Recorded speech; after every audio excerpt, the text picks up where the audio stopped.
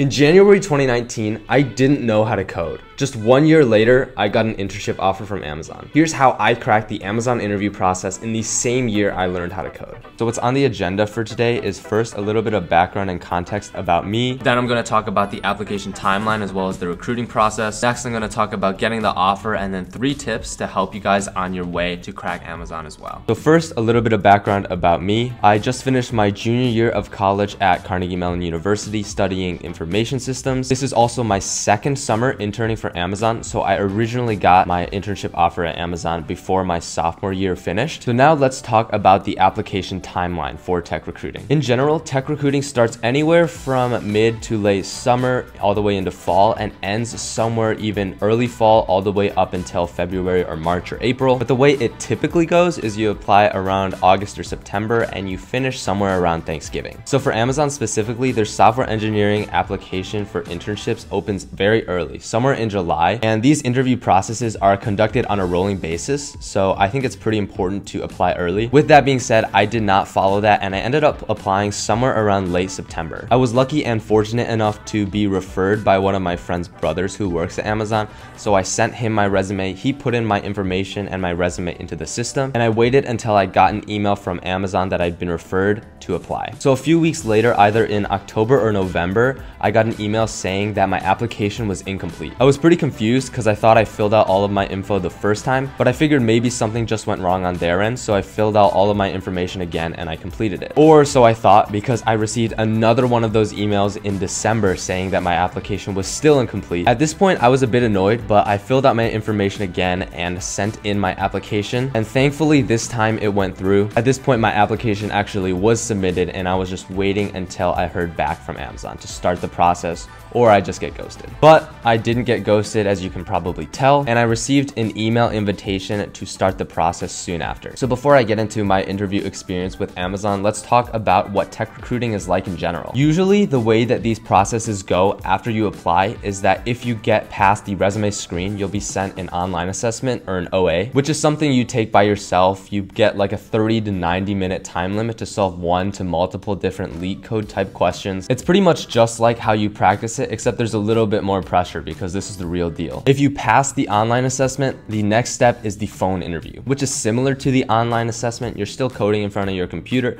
except this time there's an interviewer examining your code as you go along. In this step, there's also the difference that you have to explain your code as you're writing it. These interviews are primarily technical, but there are the occasional behavioral questions that are kind of thrown at you. Maybe just asking about your workplace decision making. And once you get past the phone interview, the next and final stage is generally the on-site interview. Before the coronavirus pandemic, lots of companies spent time and money flying out their potential candidates to interview them. But since then, interviewing has done primarily just online. So on-sites are pretty similar to the phone interview. They're conducted remotely, except sometimes you'll have back-to-back -back interviews for your on-site. And once you pass all of your interviews or just do well enough on average to get a passing grade, then congrats, you've got your offer. So now let's talk about Amazon's process and my experience with it. So Amazon's process is fairly standard. There are a couple of online assessments and typically just one phone interview standing between you and that offer letter. But Amazon's process is different in that there are multiple online assessments and they're all different. The first of the three online assessments that I had was about debugging code. I'd never seen any online assessment like this or heard of anything like it and I didn't really prepare as much as I should have. So I pretty much completely bombed this one. Got got half of the questions right in the amount of time that was given. By the time I received the email for the second online assessment, I just assumed that everyone got the email for the second online assessment and I was just gonna get rejected the second someone actually took a look at my scores. But regardless, I still tried to keep at it and the second assessment was a standard coding assessment like the LeetCode style questions and I was able to solve both questions with decent time and space complexity. The third and final online assessment is also pretty unique in that it's kind of like a behavior online assessment, basically just asking about how you would perform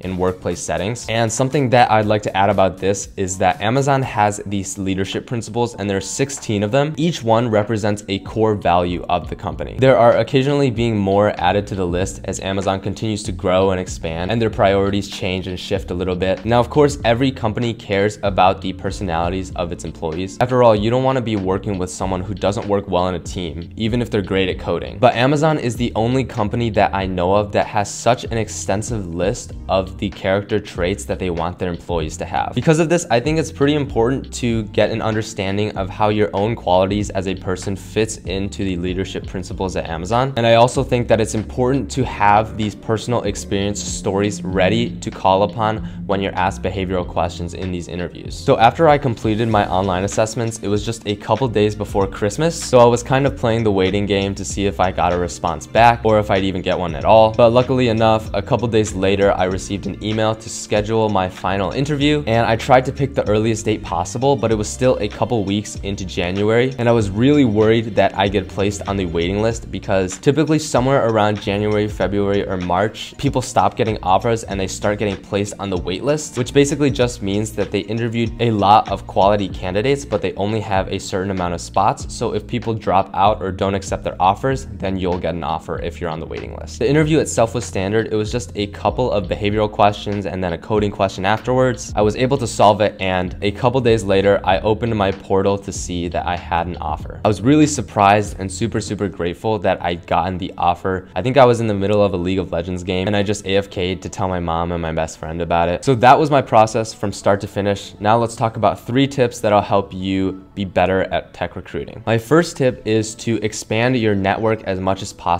so you have a stronger chance at getting referrals to these companies. I know some of you might not like this tip because it doesn't have anything to do with your technical ability, but the reality is is that if you don't have an interview at these companies, you're not going to get an offer. And referrals are a great way to get your foot in the door to be seen by a recruiter and therefore have a higher chance of being interviewed. I didn't have any experience before I got my Amazon internship and I believe a big reason why I was able to get interviewed at Amazon was because, as I said before, my friend's brother gave me a referral. Networking and cold emailing people you don't know can be a bit foreign at first, and trying to get to know people just because they can get you a referral at a certain company is also pretty shallow, but I would say just keep this in the back of your mind, and if you ever need a reason to go out and try and meet new people, this could be just one small motivating factor for that. The second tip is to apply and prepare early. The recruiting timeline that I mentioned is really, really long, but think about it this way. There are people who apply in July when there are no spots filled and people like me who finished their applications in December when there were already thousands and thousands of people who'd gotten their offers. Because these applications are processed on a rolling basis, it makes a lot of sense to apply when there haven't been as many offers given out. Because if there aren't many spots left, the requirements to get an offer are gonna be a lot higher. So let's say I applied in January. If I gotten my interview process started just a month later, I probably wouldn't be working here because I'd be on the waitlist. A common excuse I hear for not applying early is because people want more time to prepare for interviews. But my argument against that is just to prepare for your interviews earlier as well. Applications don't open until mid to late summer, so you still have that first half of the summer to prepare for your interviews. And besides, if you take more time to prepare, there may be less spots at the company that you're applying to and it'll be even harder to get a spot there. My final tip and the tip that I wish I took more seriously when I was applying is to tailor your resume to the application. You know when you're applying for internships and for jobs, there's a huge list of qualifications and requirements that we all skim over before applying. That right there is the company literally telling you what they want to see in an applicant. These companies also use automated resume screeners to filter out only the most competitive applicants. What keywords do you think they use to filter out